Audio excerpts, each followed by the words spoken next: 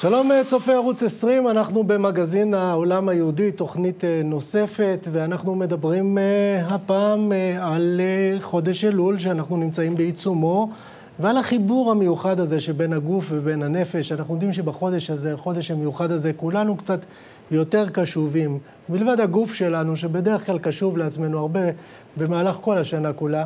הרי שבחודש המיוחד הזה, חודש אלול, חודש הרחמים, הסליחות, יש איזה משהו קשר רוח מסוים, איזו נשמה שמדברת קצת מעבר, ואנחנו נדבר גם היום גם על הנשמה הזאת שמדברת איתנו בחודש הזה, ועל אנשים שעוסקים בכך במהלך כל השנה כולה, בין החיבור המיוחד הזה, בין הגוף ובין הנפש, איך מתחברים אל הדברים. אנחנו נדבר גם על uh, מה שקורה באומן, כמובן, כראוי למגזין העולם היהודי, נשמע uh, קצת פחות על היהודים שמנסים להגיע לשם, כשהרי הדבר הוא אסור בשל הקורונה, אבל על הקהילות שנמצאות שם, על אותם יהודים שחיים שם במהלך אה, החיים הרגיל שלהם, אבל השנה הם מיוחדים. אולי הנציגים של כולנו שם באומן שבאוקראינה. נשפר גם על רבי דוד ג'נשווילי, השם ייקום דמו, שעלה לגנזי מרומים ממש בימים אלו, אנחנו מציינים את יום פטירתו. סיפור מאוד מיוחד כרוך ברבי דוד ג'נשווילי מיהודי גיאורגיה. שאנחנו נשמע על הסיפור המיוחד הזה ואיך מנציחים היום בקהילות, אה, קהילות היהודי גיאוריה את אה, אה, רבי דוד ג'ינשווילי. אז אם כך, הגוף והנפש והנשמה, ואנחנו עם שתי אורחות כאן באולפן שלנו, ונקדים להם ברכה. תמר נזרי, שלום לך. שלום וברכה. את uh, מגיעה אלינו מעמיחי, נכון. יישוב בשומרון. היישוב החדש שהוקם למגורשי עמונה. נכון, יישוב מיוחד בבנימין. שנקרא על שמו של עמיחי. אותו נער, אותו ילד, תינוק, נכון? נכון. אנחנו עמו. כן. ושלום לך, קנאי מונה שכטר, שמגיעה אלינו מראש צורים. שתיכן עוסקות בנושא הזה של גוף ונפש ונשמה, ואולי נתחיל איתך, אה, תמר, ותספרי לנו אה, באמת קצת על החיבור הזה בין הדברים ועל העובדה שאנחנו באמת מרגישים אה, מוכנים אה, בתקופה הזו קצת להתחבר יותר לנשמה שלנו. כן. אז באמת אני הייתי רוצה אה, לחלק בין שני סוגים של אה, תגובות לזמן הזה. יש אה, אנשים ששומעים אלול בתחילת שנה ומתמעלים פחד, אולי אתה זוכר את זה מימי הישיבה, שצועקים אילול, והדגים שרועדים בים, ואנשים אה, מתחילים לעשות חשבון נפש ורגשי אשמה וייסורי מצפון, ולוקחים את זה לכיוון ככה מאוד כבד וקשה, עד שכל החודש הזה נהיה להם כמו מעמסה. כן, יש לי מתאמנת שאומרת, אני רוצה להירדם בתחילת אלול, להתעורר אחרי החגים. כי הכל הוא כבד וקשה, וזו גישה, תפיסה מסוימת שלא מיטיבה איתנו. ויש את הסוג השני של באמת התרגשות לשנה חדשה, להזדמנות חדשה, ואני קוראת לזה אפילו קלותה של תשובה. כן? קרוב אליך הדבר מאוד בפיך ובלבבך לעשותו. כמה קל לעשות שינוי, כמה כיף לעשות שינוי. וזה מרגש שכל שנה יש לנו בימים האלה הזדמנות לעשות שינוי. אם זה בתפיסות שלנו, באורחות החיים שלנו, אם זה בתזונה שלנו, בגוף, בהכל. זה, זה, זה זמן מיוחד שיותר קל בו מבדרך כלל. איך את מסבירה את זה שאנחנו חשים שבאמת אה, אה, אנשים שאולי בכל השנה אה, זורמים, מה שנקרא, עם עצמם, עם מה שהם עושים בדרך כלל, פתאום מרגישים איזו שבירת שגרה בתקופה הזאת. מהיכן זה מגיע? אה, אני חושבת שמי שמרגיש, אז הוא באמת קשוב לאיזושהי, אה, לאיזשהו קול שנמצא עכשיו בעולם. תנועה של תשובה שהיא במיוחד בימים האלה נמצאת ומתעוררת. אמרה לי אחת המתאמנות שלי, היינו בראש חודש אלול בנופש, ליד הירדן, והרגשתי החמצה, איך אני בראש חודש אלול נמצאת על גדות הירדן ולא אומרת סליחות, טוב, ראש חודש עוד לא אומרים סליחות, אבל זה לא המקום. כי באמת הרבה אנשים שהם קצת קשובים לנשמה מרגישים איזושהי התעוררות בימים, בימים האלה. אני מרגישה את זה גם במזג אוויר, למרות שעדיין חם, יש כבר בערבים קצת רוחות קרירות כאלה, ואיזושהי קריאה פנימית, כי באמת זה זמן מיוחד שיש אה, מה שנקרא התעוררות, התעוררות הדלעילה, שמשפיעה, התעוררות מלמעלה, שמשפיעה גם על התעוררות שלנו מלמטה, לעשות שינוי, לעשות uh, תשובה. וזה הזמן. וזה הזמן. טוב, אנחנו נשמע קצת uh, גם על הדברים האלה ממך, כאן האמונה שכטר, אבל אולי תסבירי לנו בהמשך לדברים ששמענו מתמר נזרי, אתם עוסקים בזה כל, בכל השנה. זה לא שמגיעים עכשיו לחודש אלול ואנחנו עכשיו אה, מדברים על חיבור של גוף ונפש ו- ומסתכלים ומתבודדים פנימה. אז שמענו שעכשיו אנחנו הרבה יותר אה, קשובים. איך בעצם לוקחים אנשים וגורמים להם להיות קשובים לדברים האלה דווקא בתקופות האחרות, במהלך כל החיים? כן, בעצם אה, יש פה עניין של, אה, של כל החיים, של כל השנה. ויש פה גם את העניין עכשיו של חודש אלול המתעורר. ובעצם אה, גם אומר על זה הרב קוק, שבעצם תשובה, כשרוצים לעשות תשובה, מתחילים אותה קודם כל מהגוף. בעצם זה הדבר הכי, זה הגוף שלנו החבר הכי טוב שלנו, ואנחנו בעצם צריכים לראות אם בעצם הוא קצת חורק, קצת מקרטע, אז סימן שאנחנו פה צריכים להיכנס לאיזשהו תהליך. אה, אנחנו רואים על המרקע כל מיני אה, אה, מאכלים גם וכל מיני דברים ש, שבעצם מכניסים את האדם למשהו טבעי יותר. כלומר, יש פה, יש נכון, פה נכון. הקשר הזה בין הגוף, הגוף הטבעי הטבעוני, כן. למה שקורה אצלנו בנפש, הוא לא קשר הדוק. אני לא הייתי דווקא מגדירה ואומרת טבעוני, אלא כן לחפש את המקום יותר של להגיע אל המקור. להגיע אל הדברים שבאמת הגוף אה, מבקש אותם.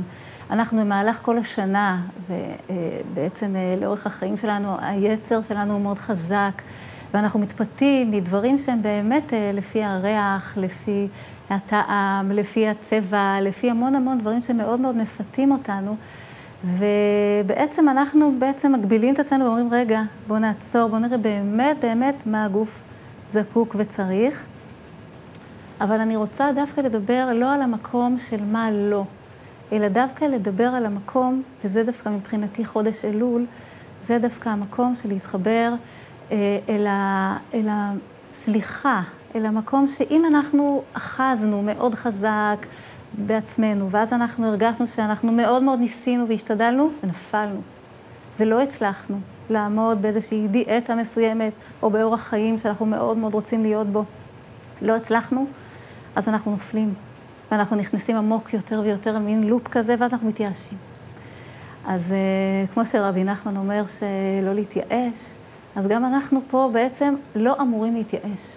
אנחנו אמורים uh, לשמוח במקום שהגוף שלנו, אם אנחנו בעצם כאילו, נקרא לזה חוזרים בתשובה בגוף, ובעצם אנחנו משנים את אורחות החיים שלנו, ואפילו במעט אז אנחנו כבר אה, אה, נותנים לזה מקום, ואנחנו לא צריכים להיכנס ללופ הזה. אז מה, אוכל טבעוני זה מה שעושה את כל השינוי?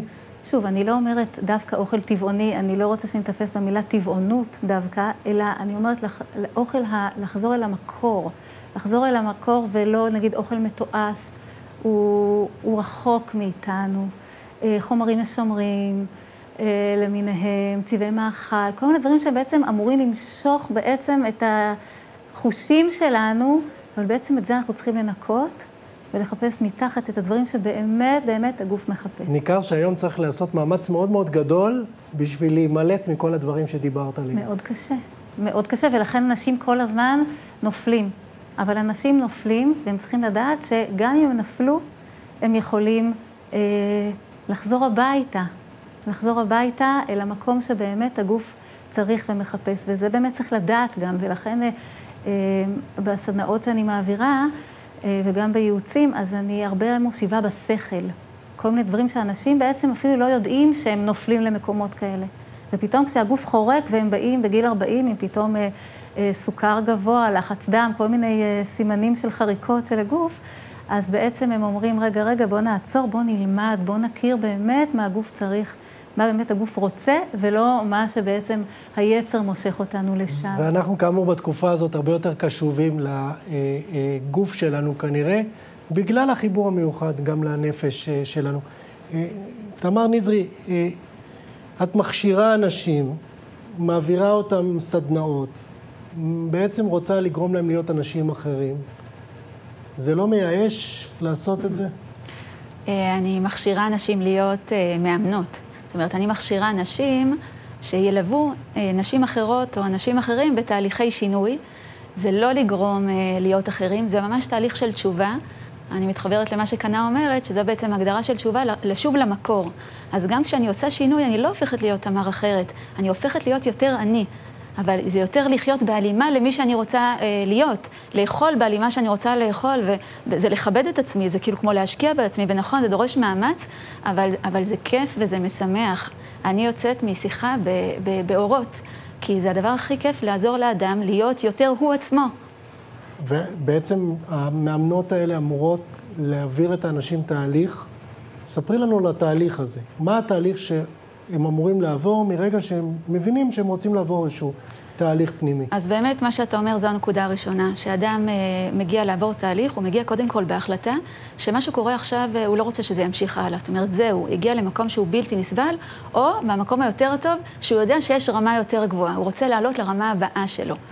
והנקודה שהיא קשורה גם לחודש אלול זה נקודת הרצון. זאת אומרת, אם אנחנו מתחילים תהליך עם רצון, מה מתחילים לאכול גם בריא? עם רצון לאכול בריא. אני רוצה לעשות את השינוי. וזו הנקודה הראשונה שמתחילים איתה, עם הפיתוח של הרצון ועם החיבור לחוזקות שלנו, וזה בכלל דבר נפלא. כי לרוב, כמו שקנה אמרה, אנשים מתרכזים בנפילות שלהם, בכישלונות שלהם, בפגמים שלהם, במה שהם לא, ואז רק מתייאשים ומאבדים את כל האנרגיה לעשות שינוי. כשאנחנו בתחילת תהליך מחברים אנשים לחוזקות שלהם, אז אנשים אה, רואים במה הם טובים ולומדים איך להשתמש בזה בתהליך. אז אחרי נקודת פיתוח הרצון והחיבור לחוזקות, קובעים מטרות, ואז יוצאים לדרך. ואז כשבאים חסמים לדרך ואדם נופל כי זה צפוי שהוא ייפול, אז אנחנו בעצם מוצאים באיזה דרכים אפשר, להשת... באיזה כלים אפשר להשתמש מול החסימות, מול אם זה אמונות ותפיסות שיש לנו, למשל, מה שאתה אמרת, שצריך להתאמץ נורא אה, המון בשביל לעשות שינוי, או שינוי יהפוך אותי לאדם אחר. זה תפיסות מחשבתיות, והן יכולות בעצמן אה, לשתק אותי ולהפריע לי, ולהפריע לי לעשות את השינוי, או ששינוי זה דבר שהוא לוקח המון זמן. יש אנשים שיש להם מחשבה כזאת, וזה לא מאפשר להם לעשות שינוי ברגע, רק התפיסה הזאת. האם זה מופרך לומר שלכל אחד יש רצון? או שבאמת לוקח לכם זמן עד שאתם חופרים ב, ברצון הפנימי של האדם? כי אמרת שבסופו של דבר הכל מגיע מהרצון שלנו לעשות שינוי, והרי בכל שנה אנחנו אה, אה, באים עם המון רצון לעשות הרבה שינויים. אפשר לומר שבסוף השנה אנחנו לא מרגישים ש... תמיד שעשינו יותר מדי. נכון. אמ, זה לא מופרך בכלל, אנחנו כולנו מלאים רצונות, אתה בטח רואה את זה אם יש לך ילד קטן או נכד קטן, שעד גיל שנתיים, שלוש, הם לא מפסיקים לרצות, הם כל הזמן רוצים משהו. באיזשהו שלב הסביבה, המציאות, ההורים, קצת מכבים להם את זה והופכים מרצון לריצוי, או ממה שאני רוצה למה שאני לא רוצה, ובעצם בתהליך של האימון לומדים איך מעוררים ומגלים את הרצונות שהם כל הזמן מתוכנו מחדש, ואז לחיות, לחזור, לחיות חיים מתוך רצון, זה מדהים. אני אתן לך דוגמה קטנה. בשבוע שעבר היינו בעלי ואני באיזה נופשון, כל חודש אנחנו יוצאים לאיזה נופשון כזה 24 שעות. נסענו ליפו. והיה לי רצון, נכון, יש קורקינטים כאלה להשכרה, אמרתי לו, אני רוצה שנעשה קורקינט. עכשיו, היה לי קצת יותר כבד ממני וזה, ו... ואני ידעתי שאני רוצה. עכשיו, זה שאני רוצה מבחינתי זה מספיק, כן, בתוך גבולות ההלכה, יש רצון, לכי עם הרצון. מבחינתי זה רצון השם, שבא לידי ביטוי דרך הרצון שלי. עשינו קורקינט, ותמיד יש פחדים מחששות קטנים, אולי הוא יבלע לי את הכרטיס, אולי זה ייקח לי יותר מזה, אולי אני אפול, חברה שלי נפלה, קיבלה מכה בברך, אולי זה יקרה גם לי, אולי אני לא אדע, אני אדרוס אנשים. זה היה מדהים, שעה נסענו בטיילת של תל אביב, של החופים שם, ופשוט הרגשתי איך עם הרצון החדש יש אנרגיה חדשה, התלהבות חדשה. המוח שלי לומד דברים חדשים, איך נוסעים על קורקינט חשמלי. הגוף שלי בהתחלה היה בלחץ, אחר כך נהיה רפוי. זה פשוט האיר לי את כל היום מעצם זה של חיבור פשוט לרצון. כנראה שגם הבעל של המאמנת צריך הרבה רצון בשביל אה, כן, חייבים לכבד גם את הרצונות שלו. בדיוק, זה גם חלק מהעניין.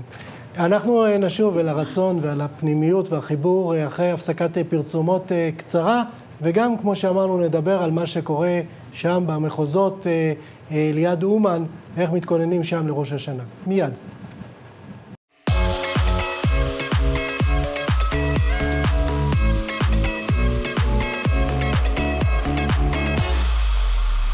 מגזין העולם היהודי, ערוץ 20, אנחנו אה, רוצים עכשיו אה, להגיע למחוז אה, צ'רקסי שבאוקראינה, צ'רקסי.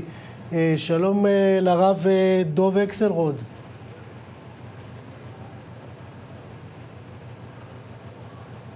הרב אקסלרוד עדיין לא נמצא איתנו, שליח חב"ד שם במקום, אנחנו מיד נחזור אליו, מיד נדבר איתו קצת על מה שקורה שם.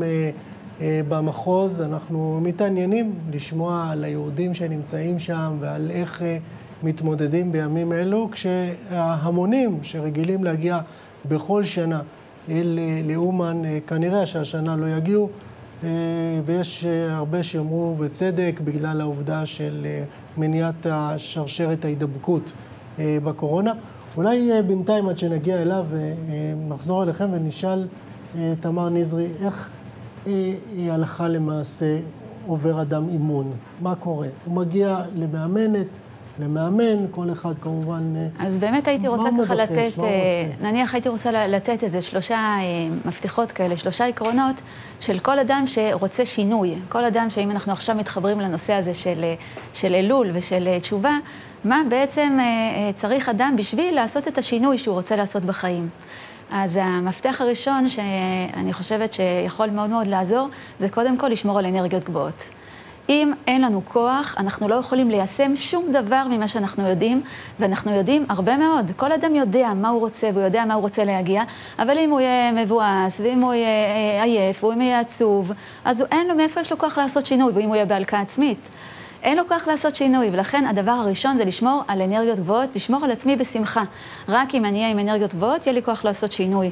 ולכן הייתי מציעה לכל אחד ואחד ואחת שצופים פה, לשאול את עצמם, מה עוזר לי להיות באנרגיות גבוהות? מה עוזר לי... אה, אה, אפילו דברים נורא נורא פשוטים, יש כאלה שנכנסים למקלחת וזה מוציא אותם עם כוחות, יש כאלה שמדברים עם איזה חברה שנורא נורא משמחת, יושבים איתה על כוס קפה, כאלה יוצאים לריצה, אני יודעת שאם אני רצה פעמיים שלוש בשבוע, אני כבר על ככה תדר גבוה של, שמונה תשע בסולם של השמחה שלי, ויותר קל לי לעשות שינוי. אז זה אה, מפתח אחד בדרך לשינוי.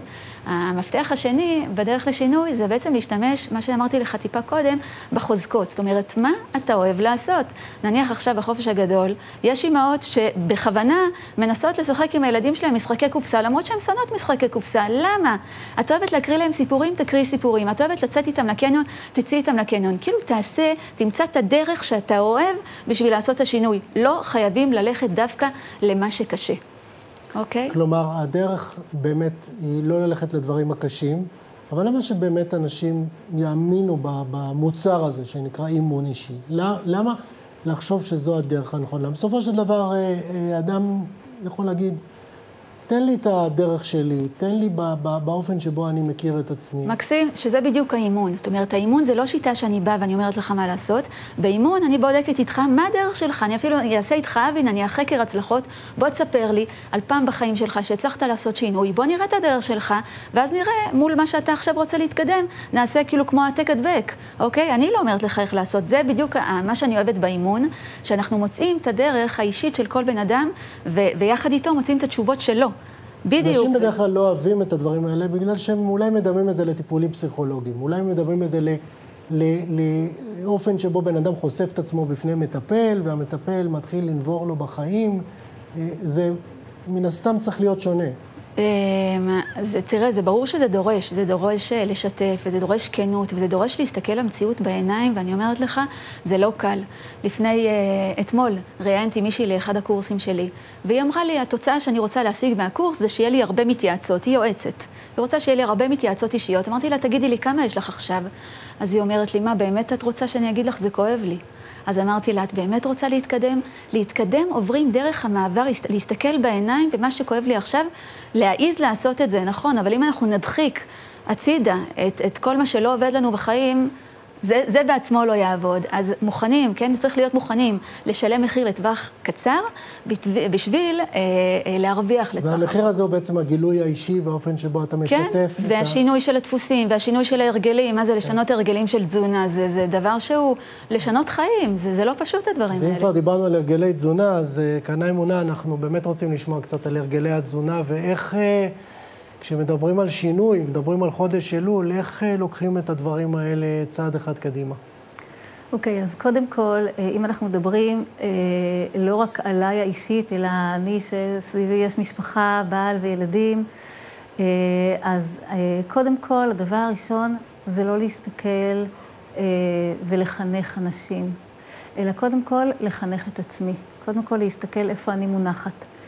אה, לדעת, למשל, יש כלל, למשל, שאני מאוד אה, שומרת אה, על, על עצמי, מכל מיני דברים שמפתים אותי, אז למשל, אני לא מכניסה אויבים הביתה, ככה אני קוראת לזה, ולא דברים שמפתים אותי, ואני יודעת שיהיה לי מאוד קשה לעמוד בהם, הם לא נכנסים אליי הביתה.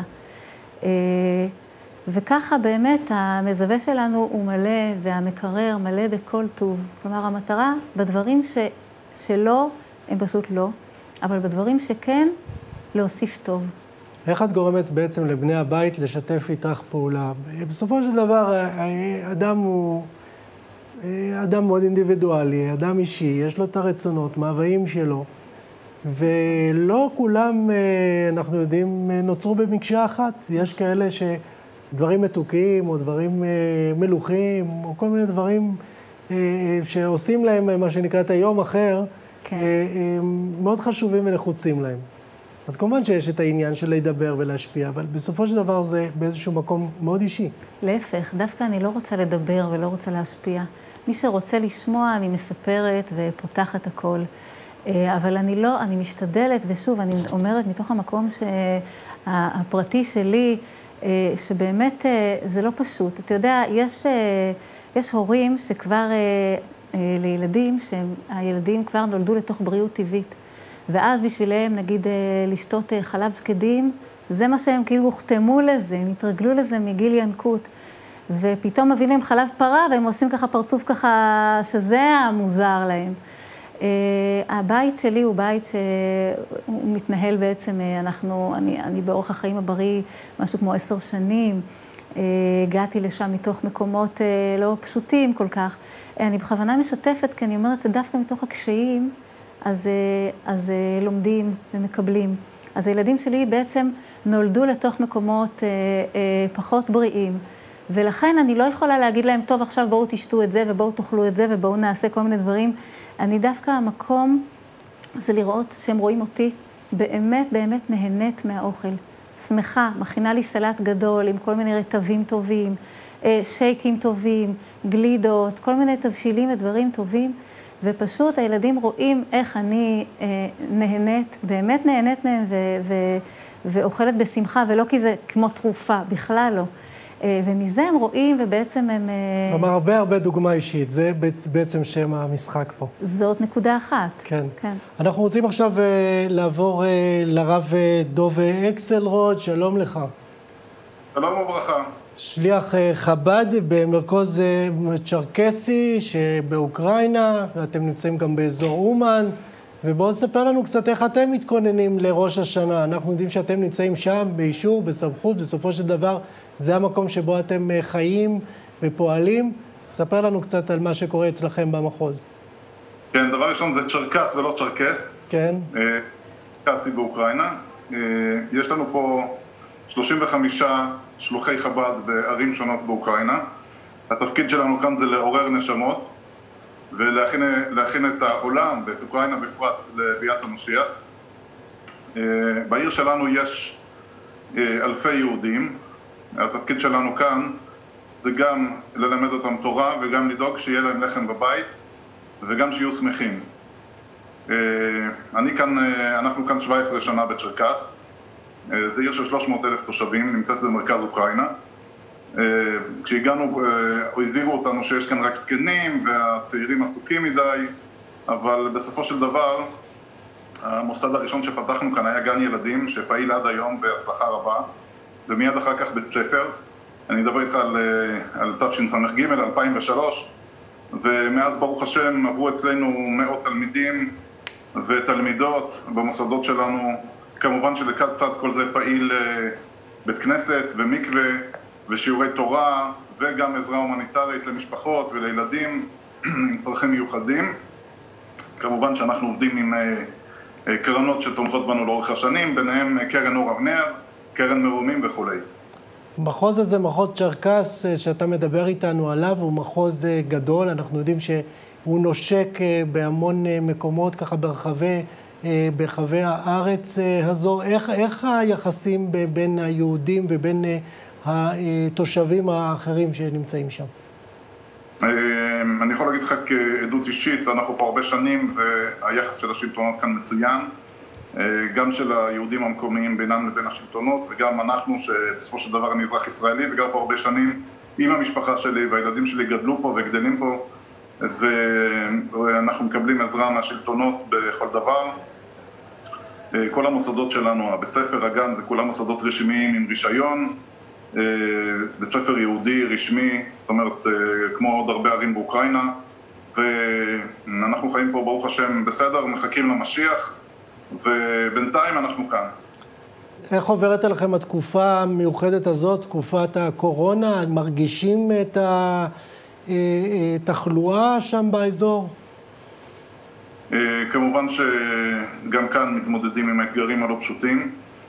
מתחילת התקופה, מיד אחרי פורים ועד היום, חילקנו אלפי משלוחי מזון ותרופות וויטמינים, מסכות וכל מיני דברים לאלפי אנשים כאן, אגב לא רק ליהודים, גם לתושבים מקומיים שאינם יהודים ו...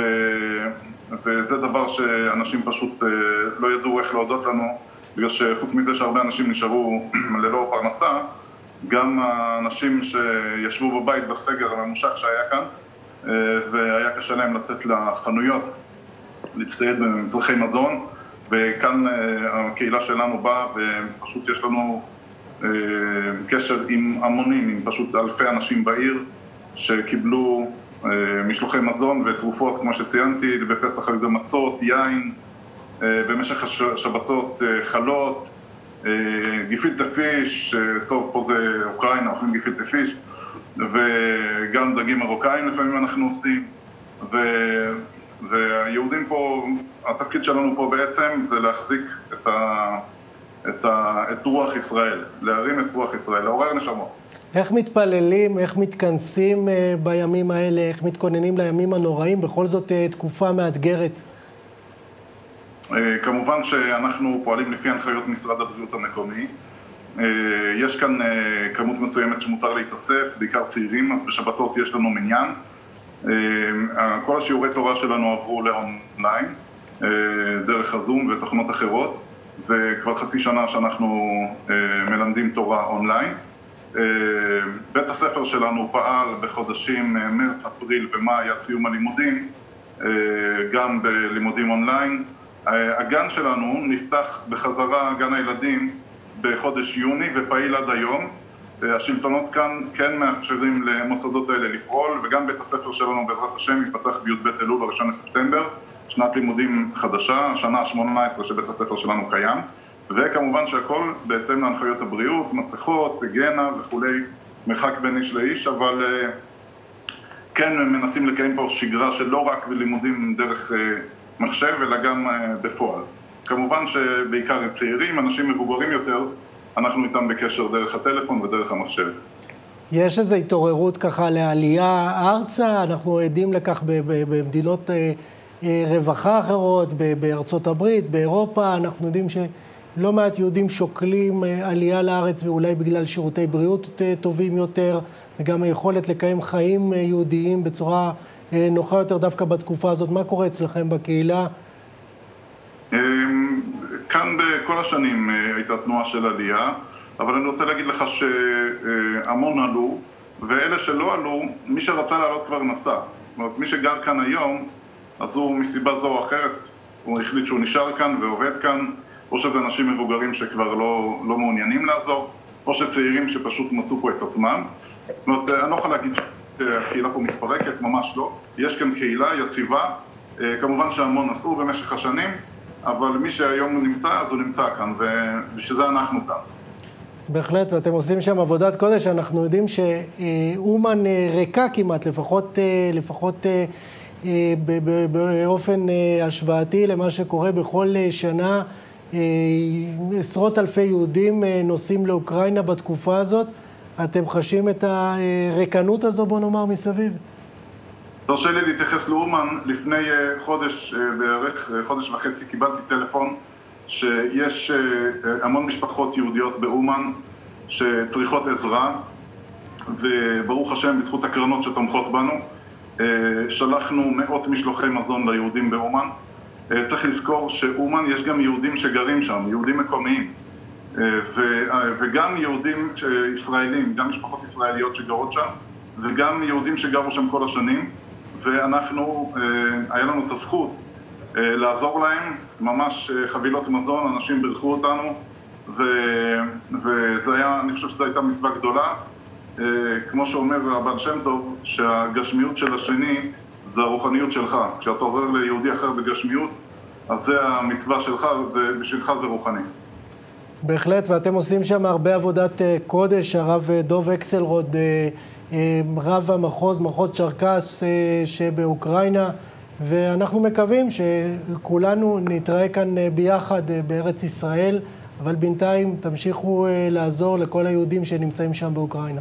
כתיבה וחתימה טובה לכולם, ונזכה עוד השנה את ראש השנה לחגוג בבית המקדש השלישי בירושלים. תודה רבה לכם. אמן, תודה רבה, כתיבה וחתימה טובה. תודה רבה לך.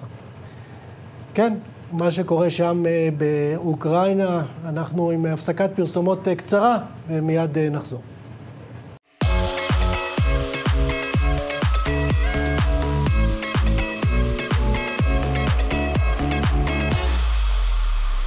מגזין העולם היהודי, אנחנו uh, חוזרים קצת לנושא הגוף והנפש, uh, וברשותך, תמר נזרי, אני רוצה להחזיר אותך uh, 15 שנים אחורה, לקטע קצר מתוך ועידת הליכוד, את מנסה להשפיע שם על עם ישראל. זה לפני שלוש וחצי שנים. לפני שלוש וחצי שנים, ולדבר על הגירושים שהיו מכל מיני מקומות, ומבקשת שלא יהיו כאלה יותר. נכון. בואו נראה.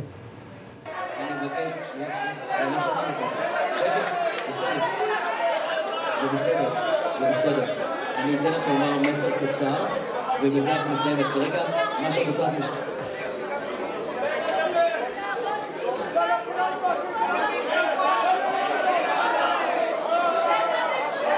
זה מה קורה שם בדיוק? מה... מה האימון שאת מנסה להעביר את האנשים שם בוועידת הליכוד? לא, לא, אני לא מנסה להעביר אף אחד. אני מנסה אה, לנצל הזדמנויות. הסיפור הוא שביום חמישי דניאלה וייס מרימה אליי טלפון בשתיים בצהריים, אומרת לי, תמר, היום הליכודיאדה, את, חשוב שאת ובעלך תבואו ותדברו על עמונה, אתם באים? אמרתי, כן, say yes, כן, מציעים, אנחנו יכולים לתרום שם? בואו נתרום. אני מרימה טלפון לבעלי, אז הוא אצלנו קצת האימא במשפחה, מה יהיה עם האוכל? אמרתי לו, נסתדר, מה יהיה עם הילדים? נסתדר. אה, אנחנו נוחתים בשבע בערב באילת. נכנסים, ואנחנו בעצם לא יודעים, אנחנו לא פוליטיקאים. כולם שם בחגיגת הליכודיאדה, מה תגיד? בסדר, מנסים לדבר, לדבר על סעיף 7, סעיף 7, לשכנע, תהיו איתנו, זה, זה, זה אפשרי, זה עוד אפשרי, אפשרי לעשות את השינוי, ואת רואה, גם ברגע. ואת רואה במה שאת עושה בחיים, חלק אה, מ... מהעובדה שאת יכולה לנסות אולי באמת לשכנע אנשים, במקרה הזה את הליכודניקים. מבחינתי זה לא, זה לא היה... לא לקחת בחשבון יותר זה, את כל זה, הנושאים של הגירוש ודברים מהסוג הזה, אלא להיות אה, אחרים? קודם כל, אני לא באה לשכנע אף אחד. אני באתי אה, להביא את הקול שלי. אני באתי להיות כמו שחקנית, לשחק ולא לצפות בחיים שלי, אלא לעשות מה שאני יכולה ולפעול במעגל ההשפעה, ואם יהיה לזה תוצאות, יהיה תוצאות, אבל אם לא, אני אדע שאני עשיתי הכל בשביל הערכים שחשובים לי. ככה אני בחיים, אם מקודם חנה דיברה על הנושא של modeling, של דוגמה אישית, אז ככה אני בחיים, אני פועלת במעגל ההשפעה, וגם זה היה בתקופה של הגירוש של עמונה, וכשאנשים באים אליי, אני מנסה להחזיר אותם למעגל ההשפעה שלהם. בסדר, הבת היא בת 40, היא לא מתחתנת.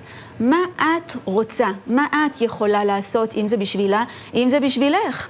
אוקיי? בוא נראה מה, מה הרצון שלך במעגל ההשפעה שלך.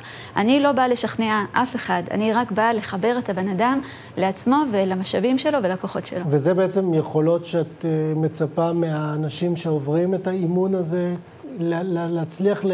להביא את עצמם? האנשים שעוברים את התהליך הזה של ההכשרה של המאמנות, עוברים את זה על עצמם. קודם כל, אנחנו בשביל להעביר אחרים צריכים להוות modeling, אנחנו צריכים לעבור את זה בעצמנו, על רצונות שלנו, על מקומות שבהם אנחנו רוצים לעשות שינוי, וגם דרך זה ודרך כלים מקצועיים, לומדים גם ללוות אנשים ולחבר אותם למשאבים שלהם בחיים שלהם.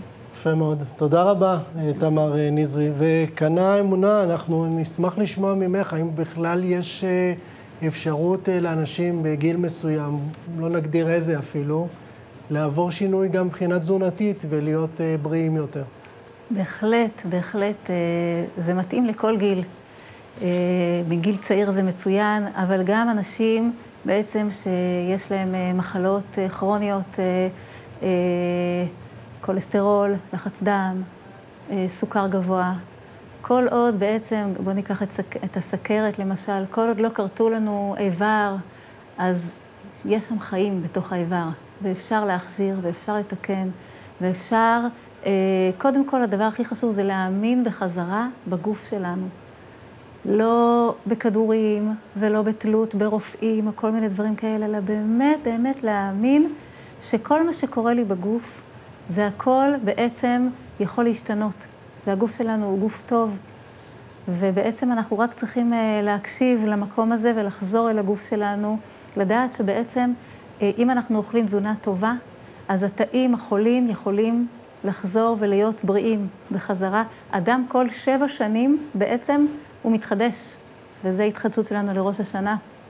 כל שבע שנים הוא הופך להיות אדם חדש לגמרי, עד אחרון התאים שלו, חוץ מקצת תאי עצב ומוח, כי אחרת היינו אה, שכחנים.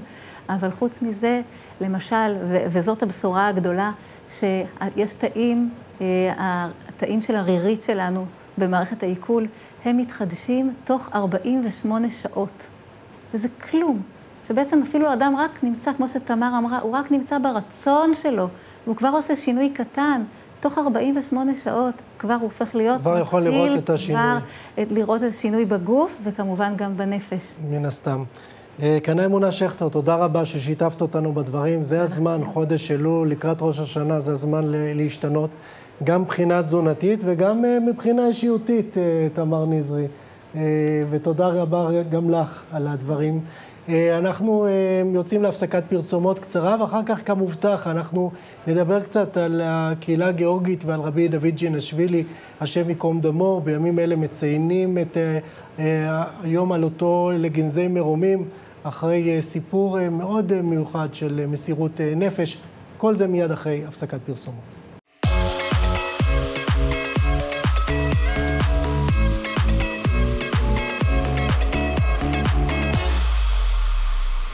מגזין העולם היהודי, ערוץ 20, אנחנו רוצים עכשיו לדבר עם עורך דין הרב יצחק גגולה, חוקר ומרצה בנושא יהדות גיאורגיה.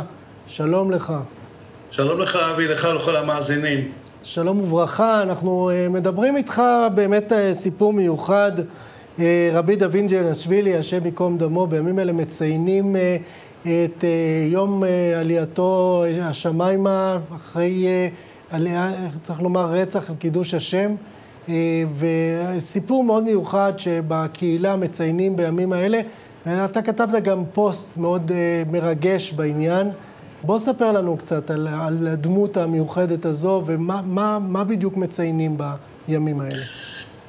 רבי דוד ג'נשווילי, למעשה, הוא נתחיל מההתחלה, הוא נולד בשנת 1887, ויחד עם אחיו רבי בנימין, הם אה, נסעו מגיאורגיה, מגרוזיה, גיאורגיה של היום, לירושלים ללמוד, שלחו אותם אה, ללמוד בירושלים, למדו כאן בירושלים בישיבת עץ חיים.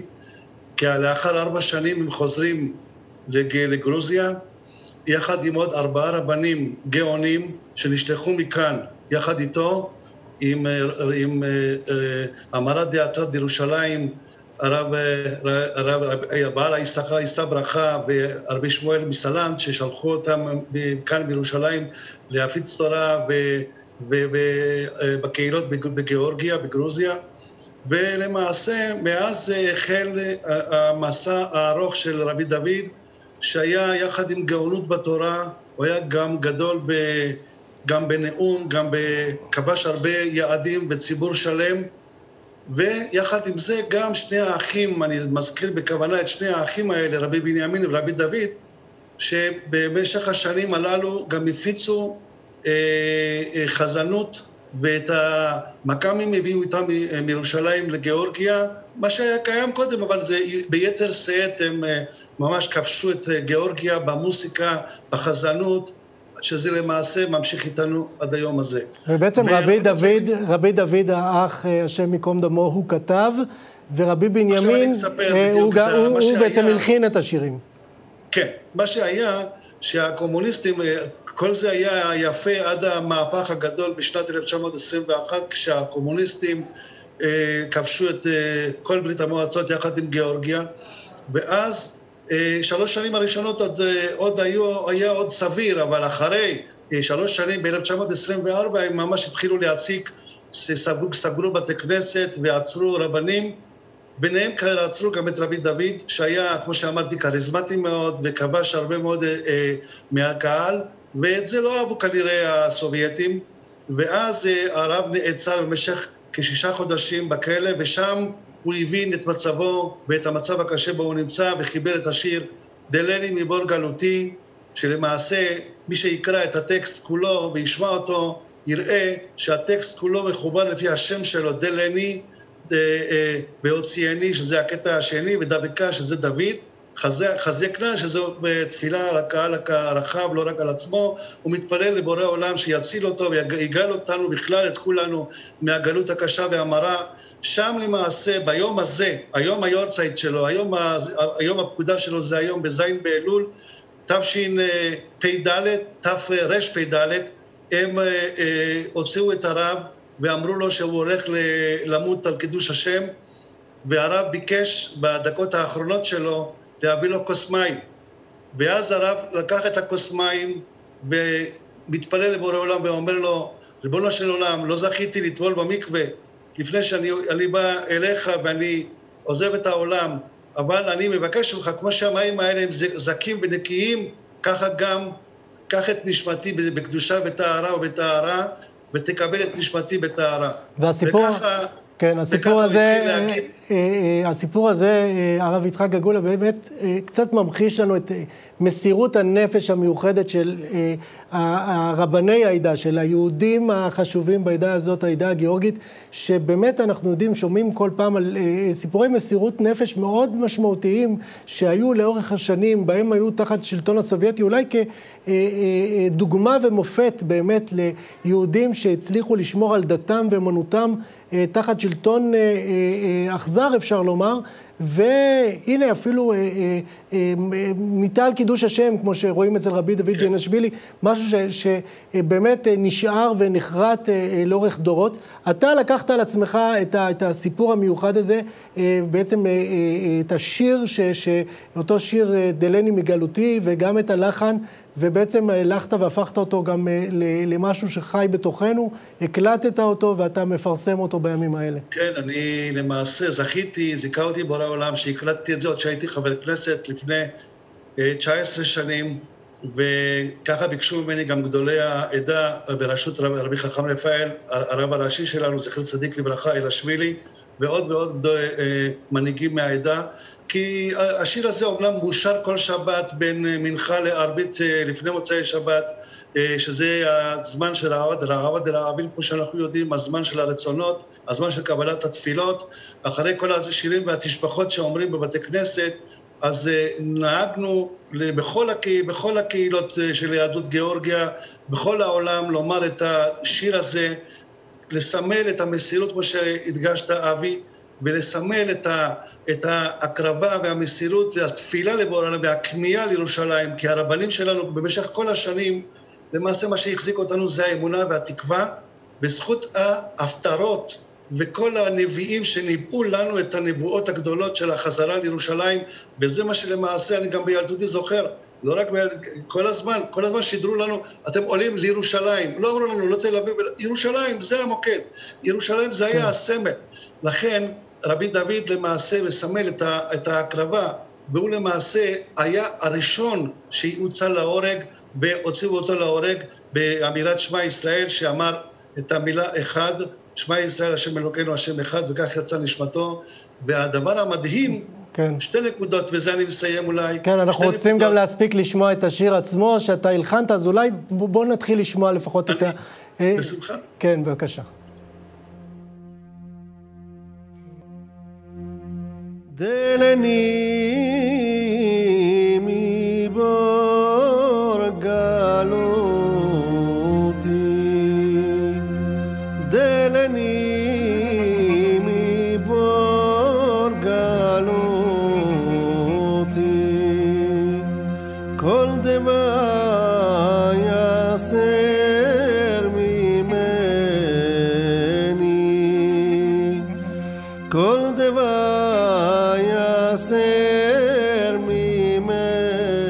הרב יצחק גגולה, זה מרגש מאוד, גם הביצוע שלך, אני חייב לומר, מאוד מרגש.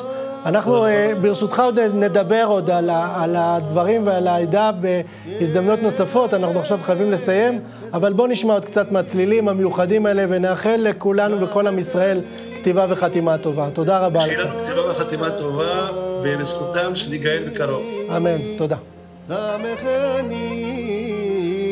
Baby, I'd go.